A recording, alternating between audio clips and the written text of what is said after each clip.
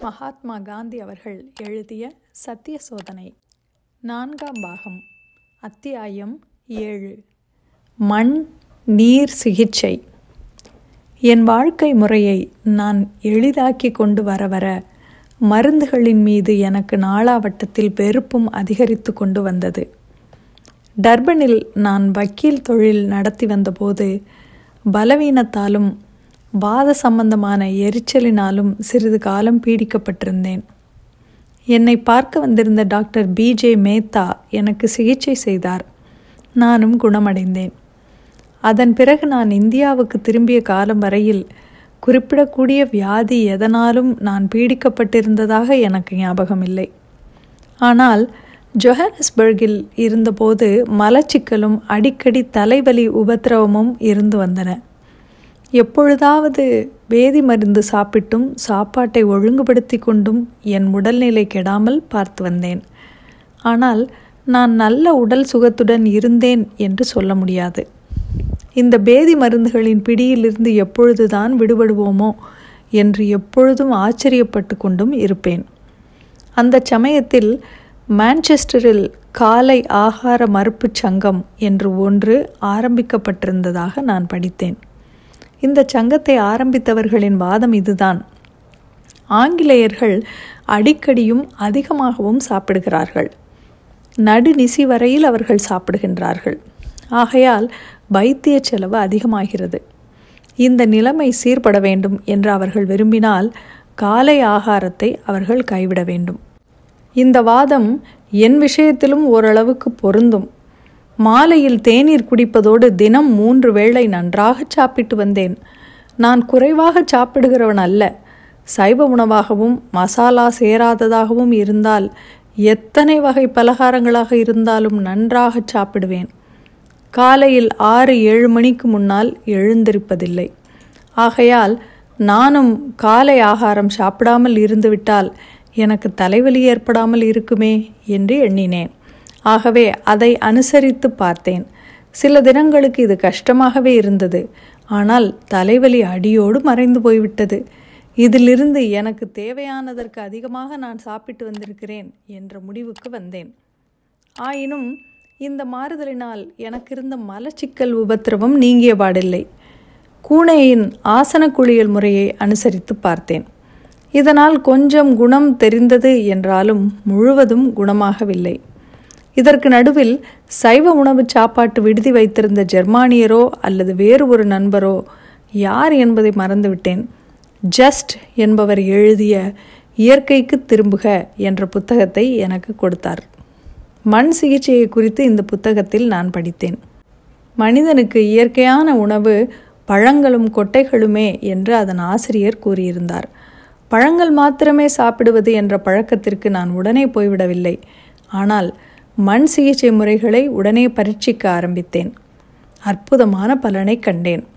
சுத்தமான மண்ணை குளிர்ந்த நீரில் நனைத்த பிறகு அதை மெல்லிய துணியில் நன்றாக தடவி அதை எடுத்து அடிவயிற்றில் கட்டிக்கொள்வது என்பது மண் சிகிச்சை முறைகளுள் ஒன்று.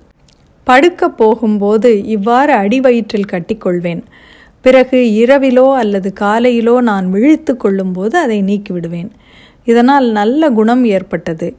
அது முதல் இந்த சிகிச்சையை என்னுடைய நண்பர்களுக்கும் செய்து வந்திருக்கிறேன். இதற்காக வருத்தப்படுவதற்கு எந்தவித காரணமும் ஏற்பட்டதே இல்லை. அதே நம்பிக்கையுடன் இந்த சிகிச்சை முறையை அனுசரித்து பார்க்க என்னால் முடியாமல் போயிற்று. இதற்கு ஒரு முக்கியமான காரணம் இந்த சோதனைகளை செய்து பார்ப்பதற்கு ஓரிடத்தில் நான் தங்கி நிலை பெற்றிருக்க முடியாமல் போனதுதான். என்றாலும் நீர் மண் சிகிச்சையில் எனக்கு இருந்த நம்பிக்கை மாத்திரம் எப்போதும் போல் மாறாமல் இருந்து கொண்டிருக்கிறது. இன்றும் கூட ஓரளவுக்கு எனக்கு மண் சிகிச்சை செய்து கொண்டுதான் வருகிறேன். சமயம் நேரும் பொழுதெல்லாம் என் சக ஊழியர்களுக்கும் இந்த சிகிச்சை முறையை சிபாரிசு செய்து கொண்டும் வருகிறேன். என் வாழ்நாளில் இருமுறை கடுமையான நோய்க்கு நான் ஆளாகி இருக்கிறேன் என்றாலும் மருந்து சாப்பிட வேண்டிய அவசியமே மனிதனுக்கு இல்லை என்றுதான் நான் கருதுகிறேன். நோயாளிகளில் ஆயிரத்துக்கு தொள்ளாயிரத்தி தொண்ணூற்றி ஒன்பது பேரை சரியான பத்திய சாப்பாடு நீர் மண் சிகிச்சை போன்ற குடும்ப வைத்திய முறைகளால் குணப்படுத்திவிட முடியும். சிறு நோய் வந்துவிட்டாலும் வைத்தியரிடம் ஓடி எல்லா வகையான தாவர உலோக வகை மருந்துகளையெல்லாம் விழுங்கி கொண்டிருப்பவர்கள் தங்கள் ஆயுளை குறைத்து கொள்வது மாத்திரமல்ல உடலுக்கு எஜமானர்களாக இருப்பதற்கு பதிலாக அதற்கு அடிமைகளுமாகிவிடுகின்றனர் புலனடக்கத்தை இழந்து மனிதர்களாக இல்லாதும் போகிறார்கள். நோயுற்றிருக்கும் சமயத்தில் இதை நான் எழுதுவதால் நான் கூறியிருப்பவைகளை யாரும் அலட்சியமாக கருதிவிட வேண்டாம். என் நோய்களுக்கு காரணம் என்ன என்பதை நான் அறிவேன். அவைகளுக்கு நானே பொறுப்பாளி என்பதையும் நன்றாக அறிந்தே இருக்கிறேன். அப்படி அறிந்திருப்பதனாலேயே நான் பொறுமையை இழந்து விடவில்லை உண்மையில் அவை எனக்கு பாடங்கள் என்பதற்காக கடவுளுக்கு நன்றி செலுத்தினேன். ஏராளமான மருந்துகளை சாப்பிடும் ஆசையை எதிர்த்தும் வெற்றி பெற்றிருக்கிறேன். என் பிடிவாதம் அடிக்கடி டாக்டர்களுக்கு சங்கடமாக இருந்திருக்கிறது என்பதை அறிவேன். அவர்களும் அன்புடன் சகித்து கொள்ளுகிறார்கள். என்னை கைவிட்டு விடுவதில்லை. விஷயத்தை விட்டு நான் நெடுந்தூரம் போய்விடக்கூடாது மேற்கொண்டு கதையை கூறுவதற்கு முன்னால் வாசகருக்கு எச்சரிக்கையாக ஒன்று சொல்ல விரும்புகிறேன். இந்த அத்தியாயத்தை படித்துவிட்டு ஜஸ்ட் என்பவர் எழுதியிருக்கும் புத்தகத்தை வாங்குகிறவர்கள் அதில் கூறப்பட்டிருப்பது எல்லாமே வேதவாக்கு என்று எடுத்துக்கொண்டு விடக்கூடாது ஓர் ஆசிரியர் எப்பொழுதுமே ஒரு விஷயத்தில் ஓர் அம்சத்தை மாத்திரமே எடுத்து காட்டுவார். ஆனால் ஒரே விஷயத்தை குறைந்தது ஏழு வெவ்வேறு நிலைகளிலிருந்தும் காண முடியும். எல்லாமே அவை அவைகளின் அளவில் சரியானவையாகவும் இருக்கலாம்.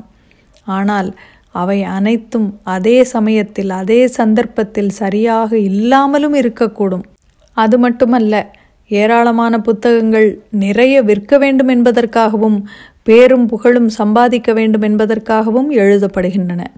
இத்தகைய புத்தகங்களை படிக்கிறவர்கள் பகுத்தறிவோடு படிக்க வேண்டும். அவற்றில் கூறப்பட்டிருக்கும் ஏதாவது ஒரு முறையை பரீட்சித்து பார்ப்பதற்கு முன்னால் கொஞ்சம் அனுபவம் உள்ளவர்களின் ஆலோசனையையும் கேட்டுக்கொள்ள வேண்டும்.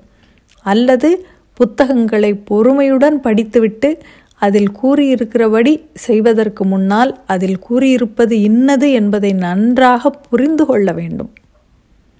இத்துடன் அத்தியாயம் ஏழு முடிவடைகிறது. மீண்டும் நான்காம் பாகம் அத்தியாயம் எட்டில் சந்திப்போம். நன்றி.